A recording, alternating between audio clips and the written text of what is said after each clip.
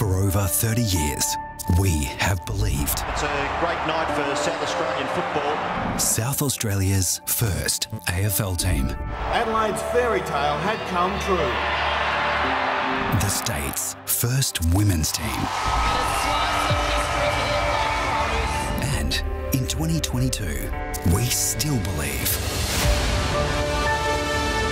We believe in that first game, that first goal. And here he is in the big league. We believe in being bold, Oh, big contest. being brave.